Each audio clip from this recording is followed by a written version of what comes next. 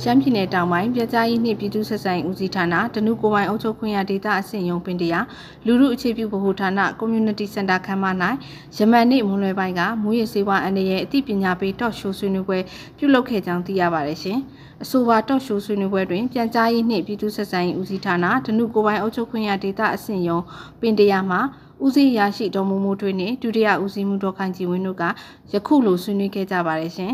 ။မင်္ဂလာပါရှင်။ မရေကျမတို့ဒီကနေ့မှာတော့မူရစေဝါအန်ရနဲ့ပတ်သက်လို့ပေါ့နော်။မူရစေဝါဆိုတဲ့အတိတ်ပဲလေးကိုသိချင်ပါတယ်ရှင်ဟုတ်ကဲ့မူရည်ဆေးဝါးဆိုတာ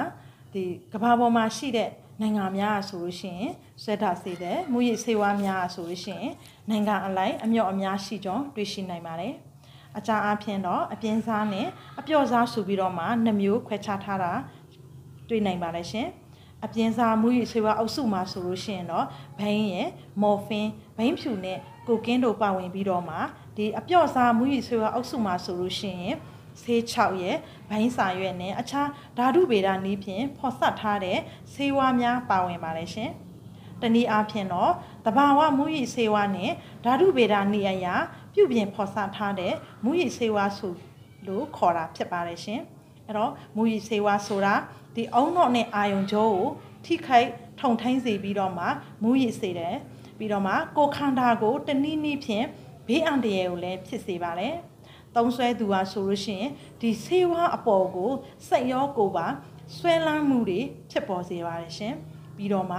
ဟိုဆက်လက်ပြီးတော့မှမသုံးဆွဲဘဲနဲ့မနေနိုင်အောင်ပေါ့နော်ဖန်တီးထားတဲ့ဒီဆေးဝါးများကိုမူရစ်ဆေးဝါးလို့ခေါ်ဆိုတာဖြစ်ပါတယ်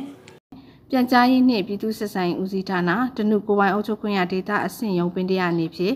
အများပြည်သူများအသိပညာဗဟုသုတတိုးပွားစေရန်အတွက်မြို့နယ်အတွင်းရှိဌာနဆိုင်ရာများစာရေးဆရာအသင်းဖွဲ့များနှင့်ပူးပေါင်း၍အသိပညာပေးတော့ရှို့အစီအစဉ်များကိုရိုက်ကူးထုတ်လွှင့်တင်ဆက်ပေးလျက်ရှိပါကြောင်းသိရပါတယ်ရှင်။ဒီသတင်းကိုတော့ဒေတာပြန်ဆက်မှရိုက်ကူးပေးဖို့ထားခြင်းဖြစ်ပါတယ်။